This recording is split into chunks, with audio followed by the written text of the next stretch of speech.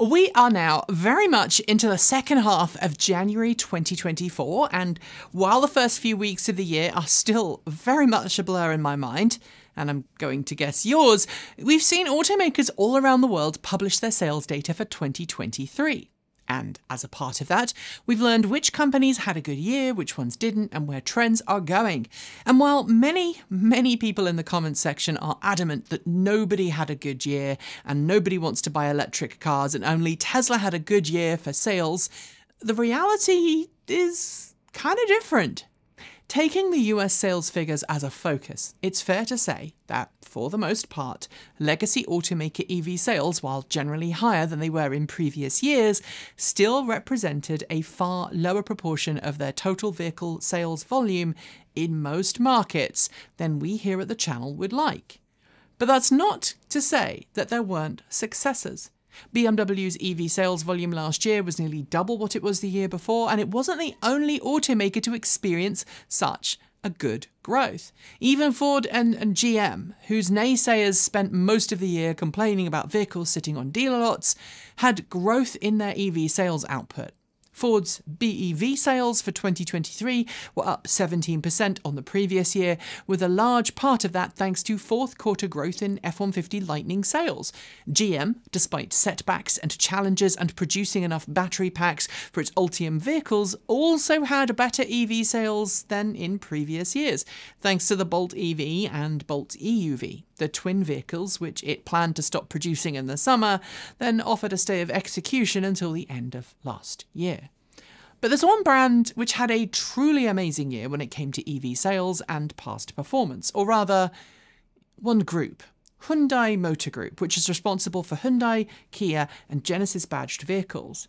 During 2023, combined Hyundai, Kia, and Genesis EV sales outperformed every other legacy automaker, securing the brand a second place to Tesla for the year in the US. And sure, while Tesla's US sales volumes were an order of magnitude higher than those of Hyundai Motor Group, and then some, it's worth looking at how an automaker whose vehicles did not qualify for any US federal tax rebates managed to outpace two companies with vehicles in their portfolio which did qualify for tax rebates. Not to mention other non domestic automakers whose US made should have been a shoo in for consumers wanting a good deal. Why did it happen? Honestly, we think there are some very simple reasons why suddenly Hyundai Motor Group's EVs sold like hotcakes, and why, when other automakers are slowing down their transition to electric, Hyundai, Kia, and Genesis seem to be accelerating theirs. And frankly, it's all down to good design, good engineering, and some forward thinking. Shall we?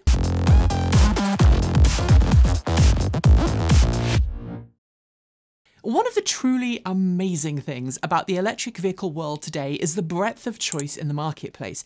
Just 10 years ago, there were literally just a handful of different electric cars you could buy. And now, in North America, you can get everything from a full size pickup truck to, later this year at least, a small city hatchback.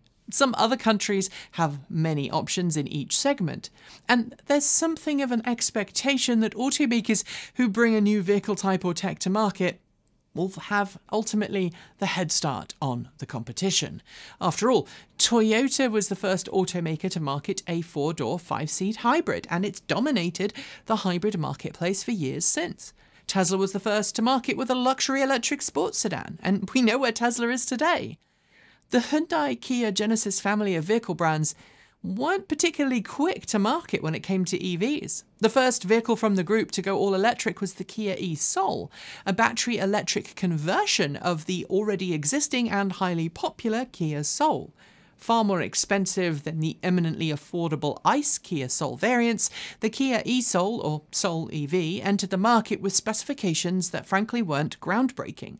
It was more expensive than the segment leader at the time, the Nissan Leaf, and while I am personally going to admit that I would opt for hamsters any day over Nissan's sometimes weird and strange Leaf adverts, it wasn't made or sold in huge numbers. That said, I am a fan of the e-Soul's design and I've always wanted to own one. And Kate Walton Elliott's wife has an e-Soul as her daily driver. Link in the description to their latest in ownership experience.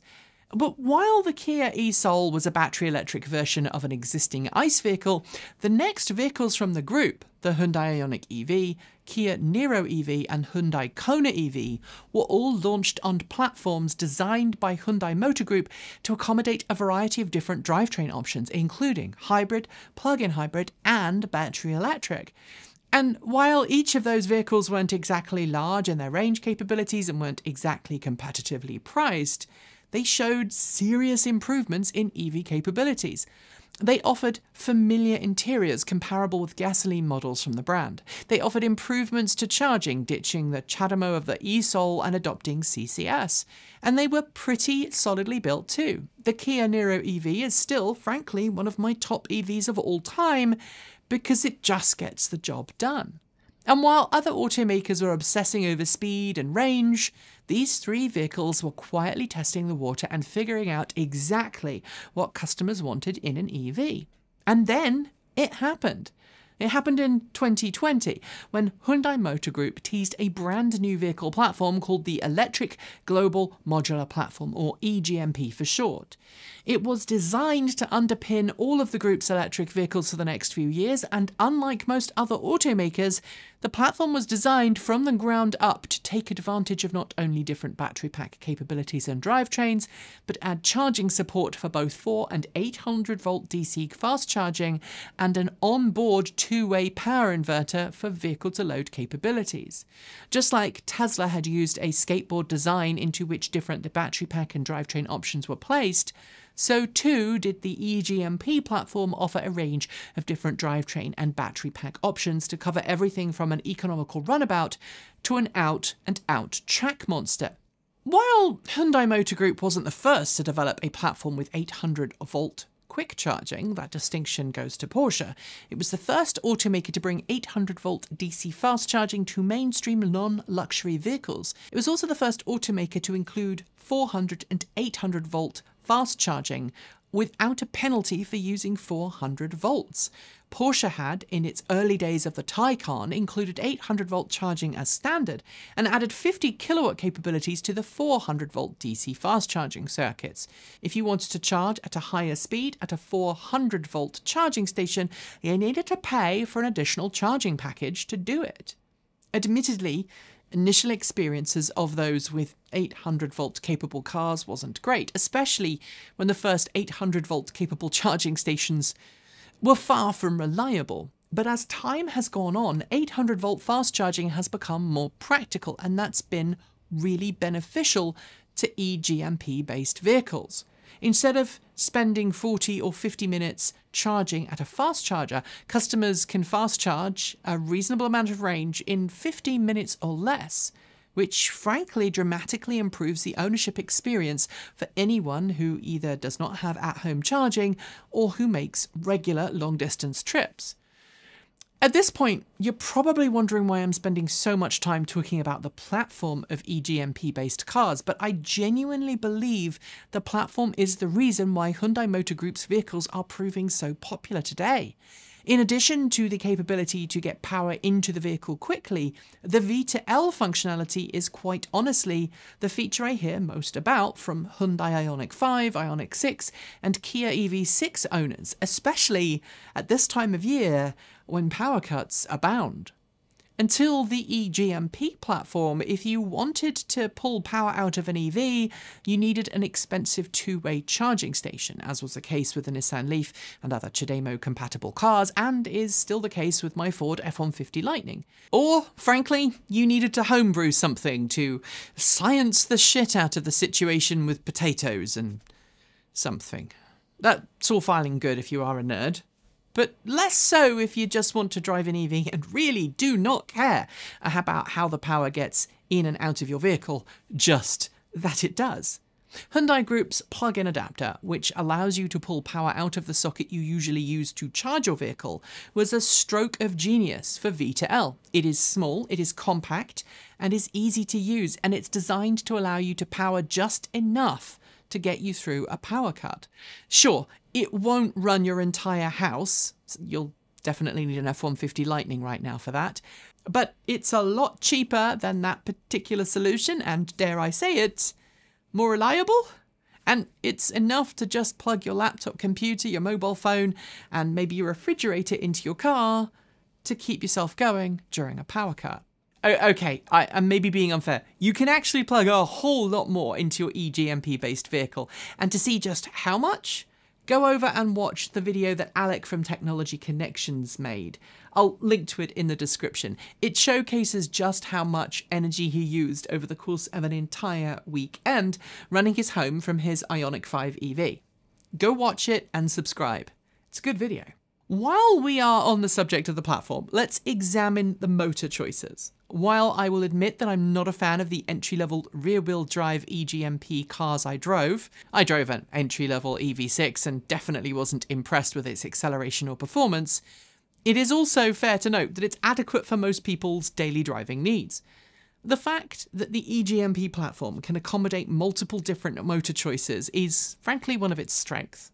Moreover, Unlike some of the all-wheel drive EVs, in which motors are always engaged, Hyundai Motor Group had the sense to design the front-wheel drive unit to be a motor type that could electrically disconnect when not required, improving overall vehicle efficiency.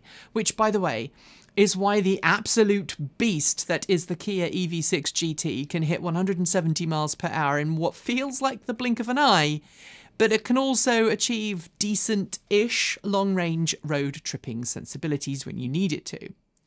The final part of the Hyundai Group's plan is unique design. Frankly, there's nothing quite like the Ioniq 5 on the road, and it's different to all of the other crossover SUVs out there, yet at the same time, Hyundai, Kia, and Genesis EVs all have an identity that blend back into their respective badges.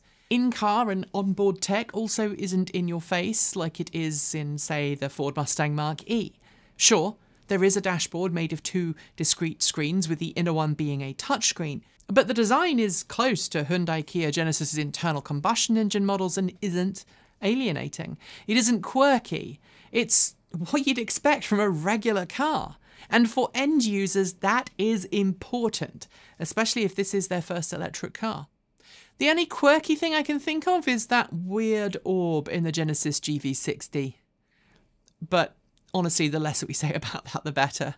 Before you think that this is a love letter to the EGMP platform, I'm going to be honest, it isn't. There have been some things that Hyundai Group have royally screwed up. Having no wireless Apple CarPlay or Android Auto is an ongoing joke on this channel every time we review an EGMP platformed car. Trying to persuade it to connect wirelessly, and yeah, it doesn't have it. But no wireless CarPlay or Android Auto.